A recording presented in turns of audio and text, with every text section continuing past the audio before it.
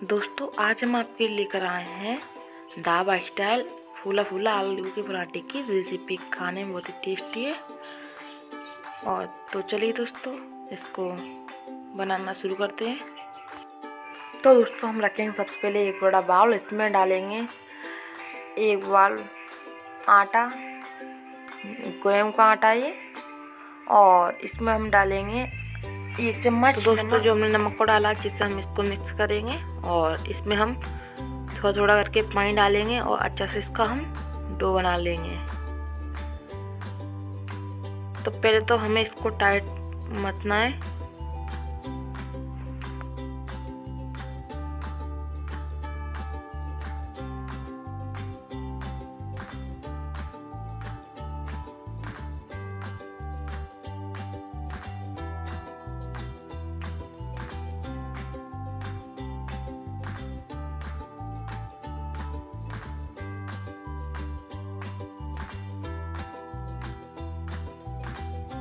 तो दोस्तों हमने इसका टाइट डो लगा लिया। अब इसे हम डालेंगे दो टेबल स्पून के करीब पानी और इसको हम अब अच्छे से गूँथेंगे हाथों की सहायता से।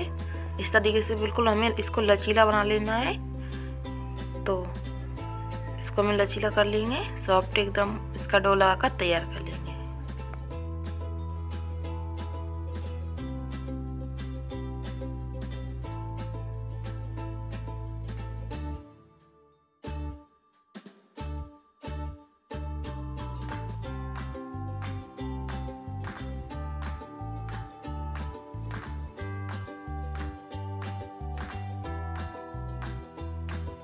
तो दोस्तों आप देख सकते हो, बिल्कुल इसी तरीके से हमें लचीला कर लेना है। अब इसको हम ढककर पंद्रह मिनट के लिए रख देंगे, जिससे अच्छे से फूल जाएगा। अब हमने यहाँ पर लिया है बॉईल किए हुए चार आलू।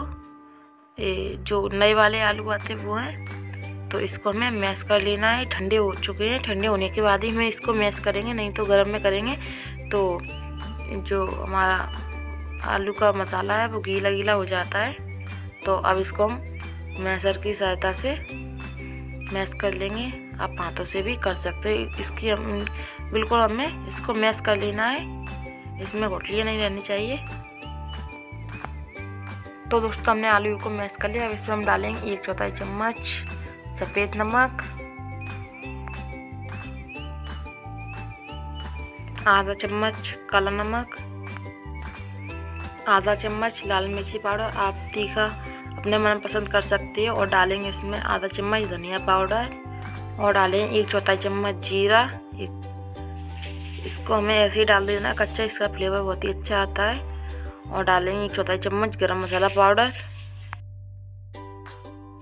एक चौथाई चम्मच डालेंगे आमचूर पाउडर। दोस्तों, अब इसमें हम डाल देंगे चुटकी भरी। और फिर हम इसको डालेंगे हरी धनिया पत्ती और कटी हुई हरी मिर्ची। इसी में दोनों मिक्स हैं, डाल देंगे।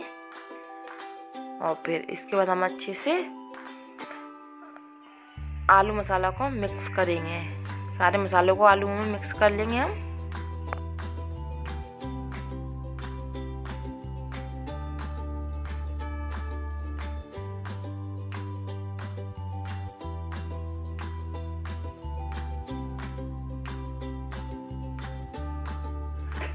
तो दोस्तों, जो हमारी अंदर की स्टफिंग है, वो बनकर तैयार हो गई है। अब इसको हम साइड में रख देंगे।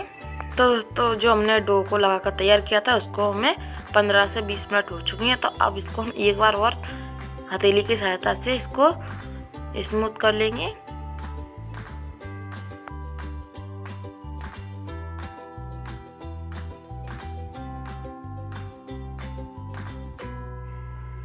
तो दोस्तों, अब हम डो में से लोई को काट लेंगे। तो हमें मीडियम साइज़ की लोई बनाने, लेनी है। और जो हमने उधर सूखा आटा रखा है, उस पर हम उससे लगा लेंगे।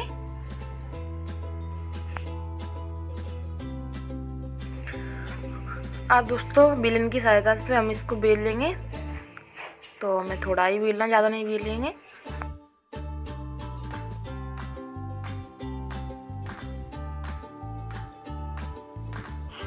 तो सिर्फ़ हमें इतना ही बेलना है। अब हम लेंगे अंदर की स्टपिंग तो दोस्तों, हमें जितनी हमने लोई ली थी, उतनी ही हमें लेनी है और इस तरीके से हमें कर लेंगे।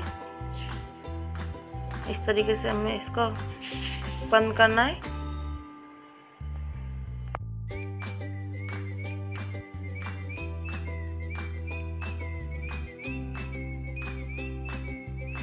अब हम इसको सूखे आटे में लगा लेंगे इस तरीके से हमें हाथों से कर लेना है हथेली की सहायता से।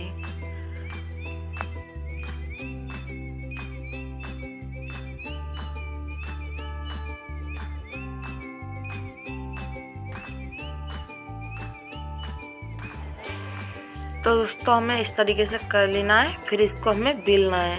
बेलना हमें बिल्कुल हल्के हाथों से ही ज़्यादा हम इसको प्रेस नहीं करेंगे, नहीं तो ये फटने के चांस ज़्यादा होंगे। तो इस तरीके से हमें बिल्कुल हल्के हाथों से बेल लेना है।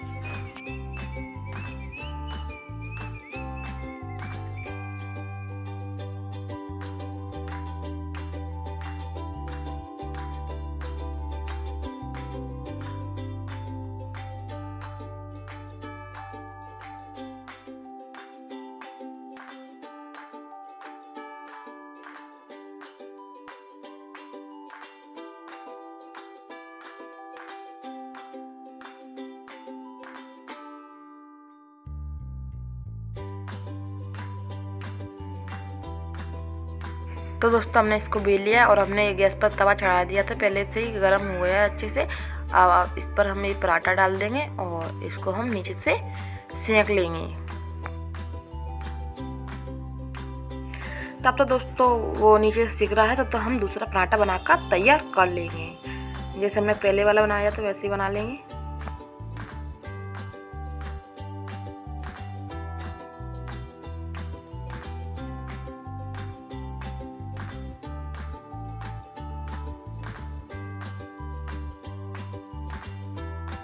तो दोस्तों जो हमारा पराठा था, वो नीचे से सूख चुका है। अब हम फिर से नीचे से सेंक लेंगे पलट कर और इसमें हम जो स्टफिंग भर लेंगे अंदर की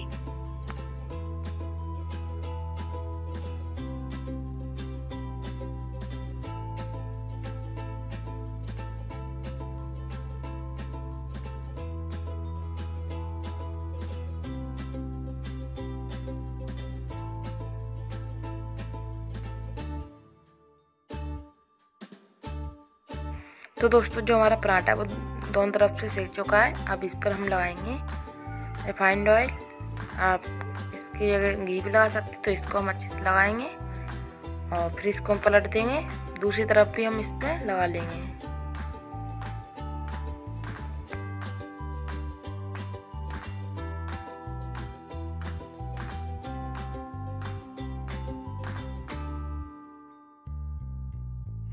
दोस्तों हमें गैस की फ्लेम को मीडियम रख देना है। तो दोस्तों, जो ये पराठा फट गया है, इसको हम इस तरीके से दबा लेंगे, जिससे जो पराठा फूलेगा।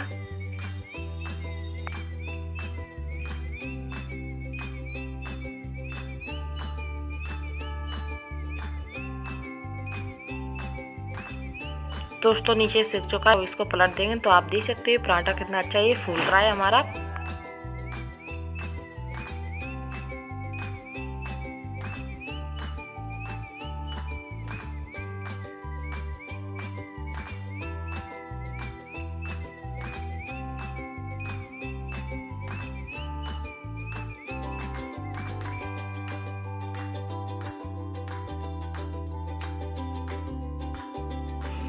तो दोस्तों, जो हमारा पराठा वो नीचे से भी अच्छे से सीख चुका है। तो दोस्तों, आप देख सकते हो।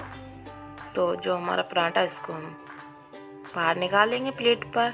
अच्छा एकदम क्रिस्पी सा बना है फूला फूला पराठा।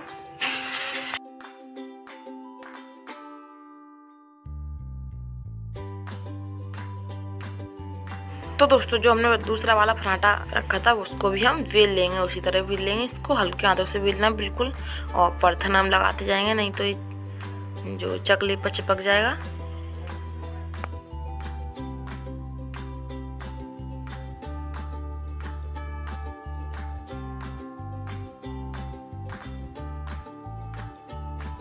तो दोस्तों, जो ये पराठा इसमें जो आलू की स्टफिंग है, वो अंदर तक दिखाई दे रही है, बिल्कुल पतला सा बना है। तो इसको हम फिर से तवे पर डाल देंगे और इसको भी हम उसी तरह दोनों तरफ़ सेक लेंगे।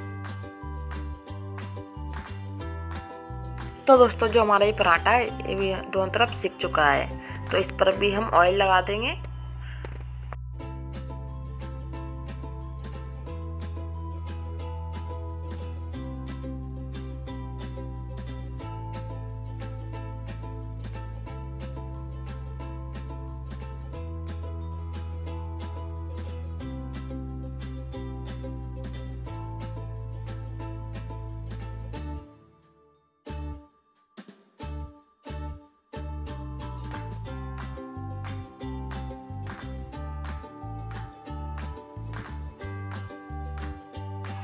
तो दोस्तों, आप यहाँ पर देख सकते हो पराठा हमारा फूल रहा है अपने आप में तो इस तरीके से हम इसको सेक लेंगे। तो आप देख सकते हो कितना अच्छा सा ये हमारा पराठा फूला फूला है। तो दोस्तों, ये दोनों तरफ़ सेक चुका है, अब इसको भी हम निकाल लेंगे। तो दोस्तों, हमारे फूले फूले क्रिस्पी से पराठे बनकर तैयार हो गए हैं। खाने में बहुत ही टेस्टी हैं और मैं एक फाड़ कर भी दिखा रही हूँ इस तरीके से। बिल्कुल इसकी जो लेयर है, बिल्कुल अलग अलग हो जाएगी।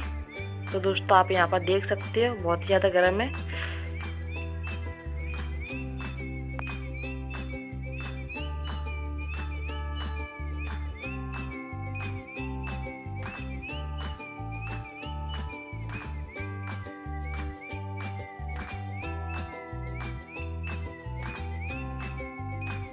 तो दोस्तों, आप यहाँ पर देख सकते हो, बिल्कुल अलग अलग लेयर हो गई इसकी, बहुत ही टेस्टी है। बिल्कुल तीखा, खट्टा। तो दोस्तों, बहुत ही टेस्टी बना, एकदम चटपटा। तो वीडियो अच्छी लगे तो वीडियो को लाइक चैनल पर नहीं चैनल को सब्सक्राइब कर लेगा। और फिर मिलते हैं अगली एक न्यू मज़ेदार रेसिपी के साथ। तब तक के लिए बाय बाय